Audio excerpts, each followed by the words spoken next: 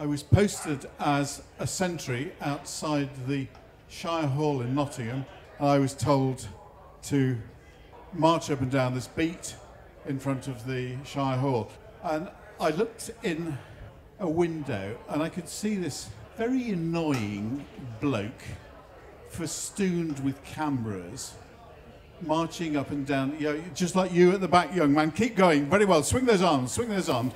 Come on, arms out there. Put your thumbs out. Good boy. Good boy. Well done. Fantastic. Anyhow, I could, I could see this man marching up and down behind me and mocking me. I thought this bloke was some sort of tourist, and there was a great gaggle of younger people with him, and I determined from their speech that they were probably French. And I thought, well, I'm not having a bloody Frenchman insult the Queen's uniform, taking the rise out of his Queen's sentry. And as I turned on the turn, I charged my bayonet and shouted very loudly, Queen's Guard! He leapt in the air as if he was a vertical takeoff aircraft, came down, fell on the other bloke with him, and then I could see these expensive lenses rolling in the gutter. And to add of my plenty to this, I called him a dirty French pig and he should go away in French. The sergeant major, hearing of this disturbance, turned the guard out, asked me what had happened. I reported properly to him, and he said very well, put me back on my beat. I then heard him talking to the guard commander, who was a lieutenant, and he said, Whoa, yeah, Mr. Harriman, he sorted them out. Yeah, yeah, we make a bloody good officer. He can swear in French, you know. One of the things I'd like you to do in a minute when the Daisy and Poppy bring out a cardboard box, because you have brought a, a bayonet with you, haven't you? And, and you're able to do that. Can you, do, can you get a bigger one than that? Can you get a bigger cardboard box, David? Look at that. That's fan- right. Talk me through that. It's clearly. Can you talk me through that bayonet? This bayonet is Corporal Jones's very, very own bayonet. This is the bayonet that they don't like it up, and Mr. Jacoby. They don't, sir. They don't like it up. It's a an American pattern of 1917 bayonet. Uh, please do pull. And it's 17 inches of pointy steel.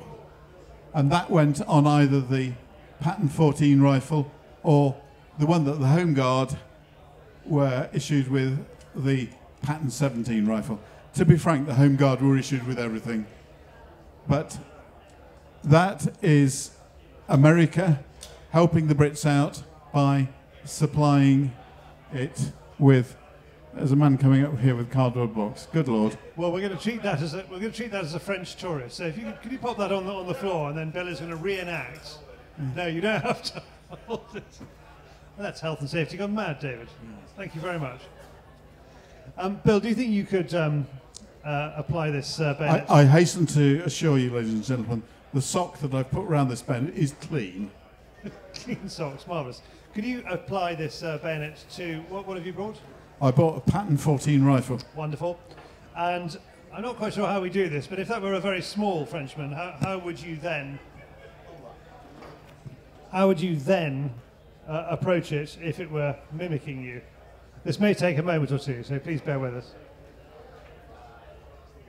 Right, shall I talk through what you're doing? He's unsheathing his bayonet. The command is fix! Bayonets, there's always a 2-3 in every drill to allow the soldiers to do something. On fix, the bayonet go, the rifle goes between the knees of the soldier. The hand goes round the back, grasps the bayonet, turns it upside down so you can pull it out, and on the command bayonets, you pull it out, and you put it on. And that is a rifle with. Get out this chair. Oh, God. I'm old, you know. So. That is a rifle with a fixed bayonet, held at the high port, which is the ready position to engage any enemy. And you can do the lunge, the butt smash, which is one of the gob, which does a lot of good, I understand, and also the point, the low point, which is. Oh, God, I'm sorry, I've gone through your floor. That's absolutely perfect. Well done. Thank you very much. Could we have a round of applause for Bill for doing that for us? Thank you so much.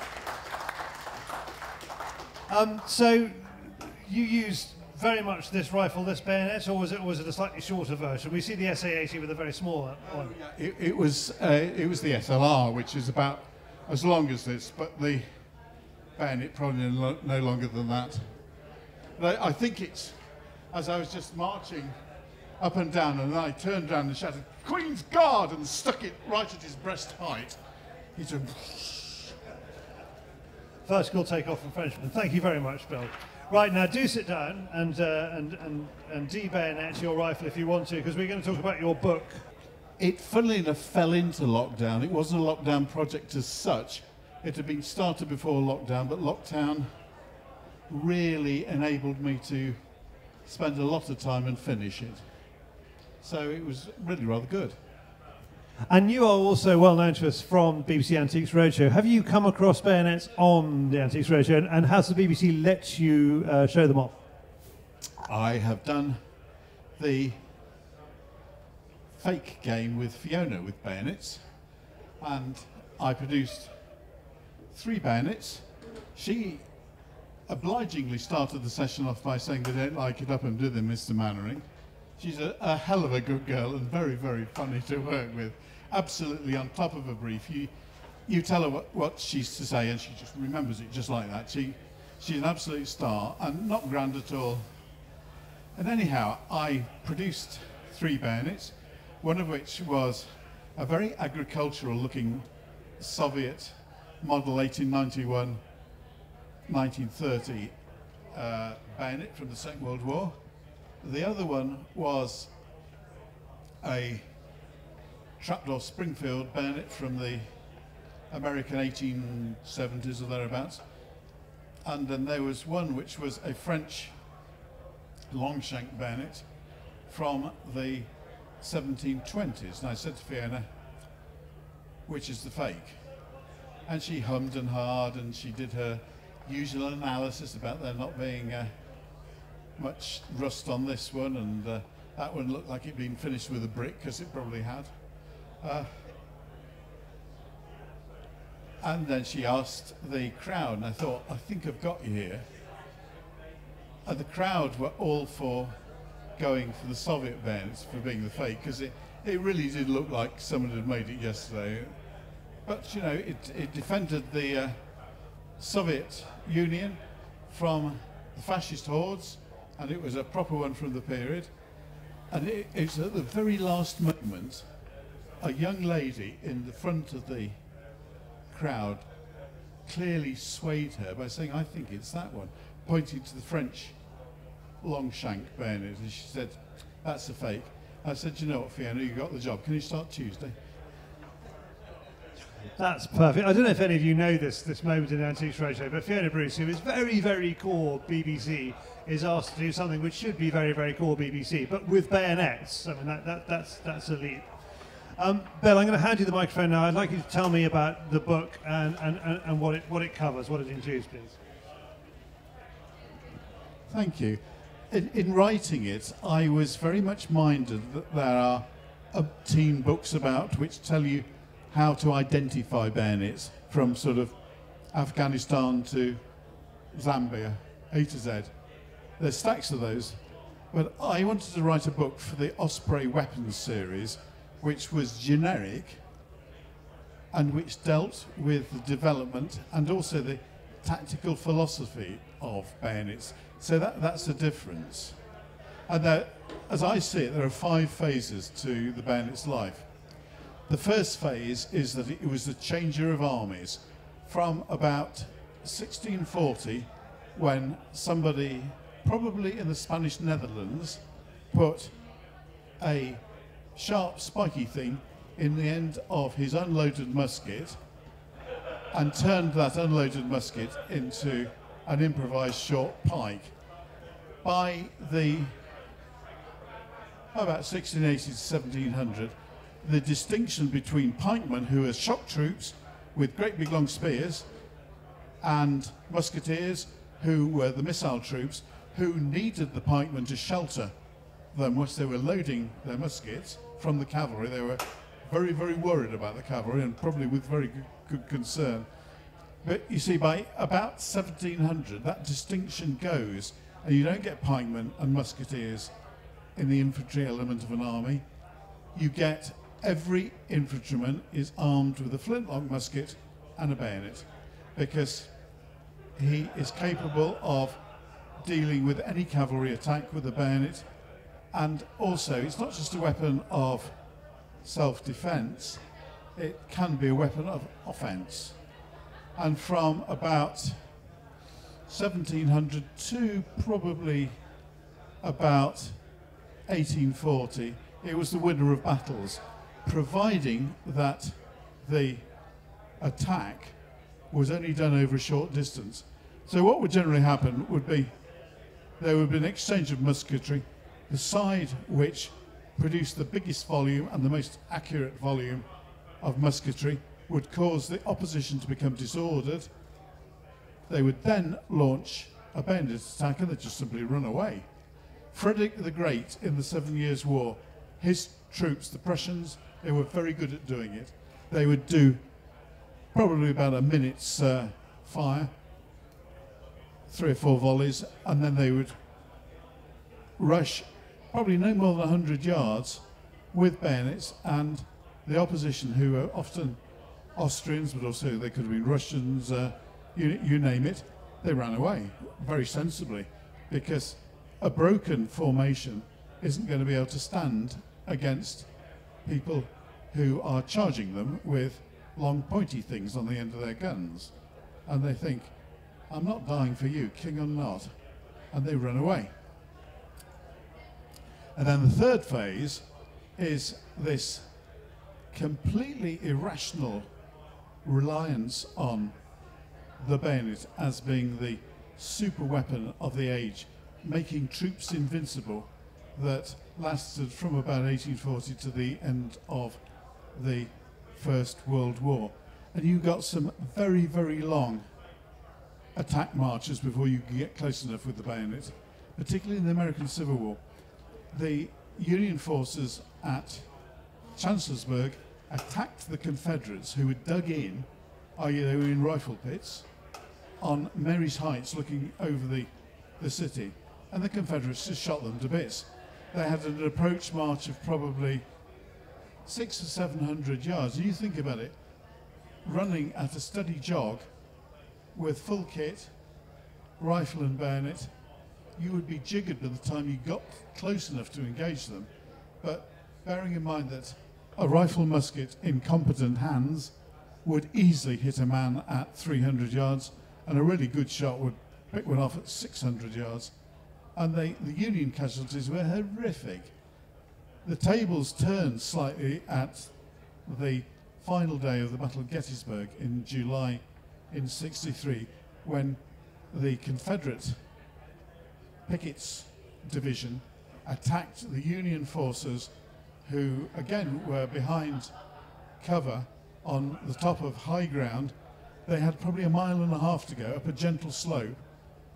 On a hot day, they were probably underfed, underwatered, and when when the the the division was pushed back, General Lee said to General Pickett, "Sir, where's your division?" And he turned around and said, "There," and there was just nobody there. It just wiped them out. So there was that irrational reliance on a bayonet as a battle winner when you had got quick firing firearms, efficient artillery, and lat- later on machine guns, which really did change things. And then the next phase is the bayonet being a battle winner in really extreme circumstances. You get instances in the Second World War where fairly sizable subunits have attacked with a bayonet and have pushed somebody off a position which they couldn't shift them.